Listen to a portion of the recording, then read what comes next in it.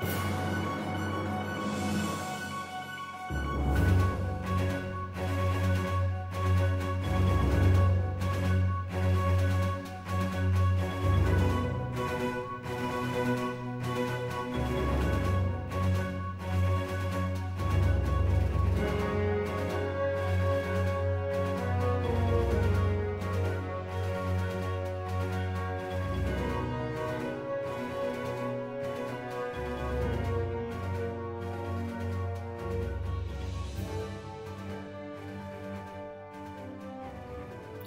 I'm Stephen Ben-Nun and you're watching Israeli News Live. I wanted to kind of give you just a little bit of an update on the things that are happening with Pope Francis in the United States.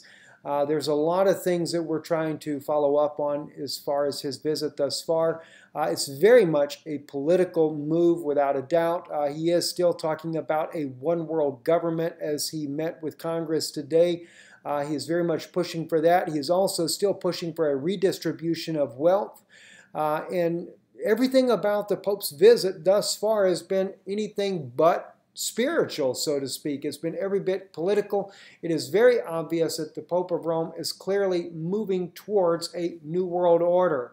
Uh, and of course, the fanfare that he is getting is completely amazing, to say the very least. From the time that he landed in uh, Cuba, uh, AOL News themselves, the very lady that was uh, broadcasting his trip there to Cuba, said he got the, the reception as of a rock star coming into Cuba. Then, of course, he comes into the United States. President Barack Obama meets him at the airport, bows to him. What, do you expect? He's got to bow to the very uh, uh, the, the, the so-called prince that shall come, the king of the earth right now, the Pharaoh of Egypt. So he does bow to him, and then on top of it, gives him an inauguration greater than that of any president of the United States has ever received. It just the red carpet was rolled out, and of course the Pope passing his uh, his New World agenda and the encyclical that he writes about uh, uh, global climate change, etc. He does show up in a little Fiat, of course, giving the little car. Kind of reminds me of Hitler, if you think about it, because Hitler was the one that said that the Germans needed their own family car, and that's where the Volkswagen actually began its own birth, the little small, little tiny, little egg-shaped car that it was. And now the Pope of Rome is also pushing a very similar agenda, but under a new, new reason altogether. Um, but you know, the people are loving this man. I mean, if I have ever seen a guy that has so much uh, uh, charisma for the for the people, and the people just bowing down to him and just just frothing over at him. I mean, they're, they're running, the Secret Service agents are running out, grabbing children from the crowd, run them over to the Pope for him to kiss them, etc. And yet, then he gets into the political arena and he is setting the stage for a one world government. I mean, it is it's ridiculous what we're seeing here in the United States, and yet the whole U.S. is falling for this. So anyway, this is just a brief, uh, uh, just a brief summary of the things that we've seen thus far. I will be diving deep into everything that he has spoken about thus far. He did speak with Obama privately. Uh, so I, have not been able to get the information as of yet what the details are of the meeting that they had there. And, and, let me just say this too, friends. We were on Hebrew Nation Radio today and discussing some of these things as well. And one of the things that I said there to, to, to Bonnie and to Ron on their program there is that keep in mind we're seeing the beginning of the New World Order come into place here. We may not see the actual power given fully to him as of yet, but he is laying the groundwork. I'm fascinated to know what he's going to say tomorrow at the United Nations. I'm going to try to cover that. Uh, I'll be watching that live myself, uh, and, and I'll try to capture some of his comments as well so that we can share those with you here and uh, and just try to really get help you to get a grasp on what's happening. We are definitely seeing prophecy come to pass.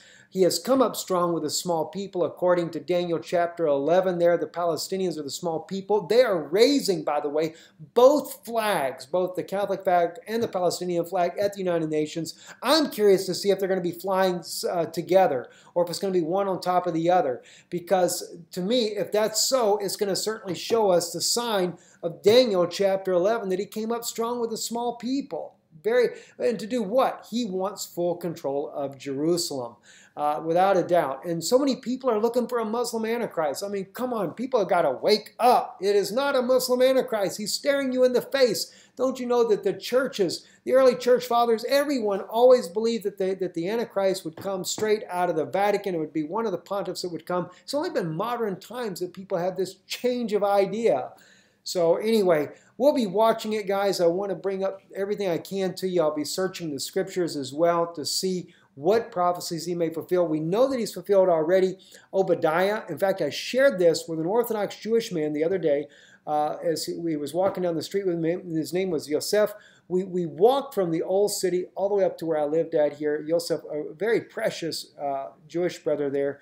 And I shared with him the prophecies that are being fulfilled right before your eyes. I shared with him Micah uh, how that they're trying to internationalize Jerusalem. I shared with him Obadiah, how that that uh, shutatetem, he should they shall drink masculine plural on God's holy mountain, and then ishatu, which is feminine uh, gender inclusive, and they shall continue to drink. Uh, you know, uh, showing that it was the second communion service they had where they included all the nations uh, as part of that particular service. So we are seeing prophecies being fulfilled, and no doubt many more are going to be fulfilled.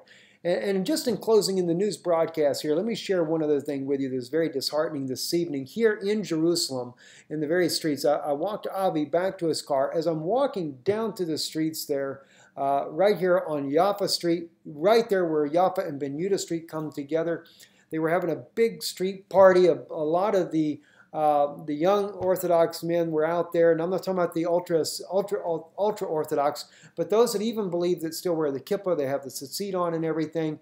Is it, it was just a drunken stupor, and it just it just grieves my heart to see the city that's supposed to be considered the most holiest city in the world. And yet, the young people, and religious young people especially, supposedly believing in the coming of the Messiah. And in this condition, if they need your prayers ever, they need them now more than ever. So I cannot encourage you enough to pray for the young people here. And then to top it all off, above everything, there's a group of men standing there flying the gay pride flag with the Star of David on it. I posted it on Israeli News Live, uh, a picture of that on our Israeli News Live Facebook page. And I stated in there the gay people have hijacked the rainbow, the covenant that God gave to, to, to not just Noah, but he gave the same covenant to the animals, clearly wrote out in Genesis chapter 9. He gave us a covenant sign to both Noah and his, and his family, as well as the animals that he would not flood the earth ever again. He gave them the rainbow sign. And then on top of it, the wise men themselves actually followed a six-rayed star to the young child Yeshua, Jesus himself. This was actually revealed in the humane gospel of Jesus there that they followed a six-rayed star. Both covenant signs that were giving, given to, to, to the people of God have been hijacked by the gay community. It's time, my wife made a comment one time about the rainbow. She said, it's time to take it back. And we must take it back. I'm Stephen Ben-Nun with Israeli News Live. Shalom and good evening from Jerusalem.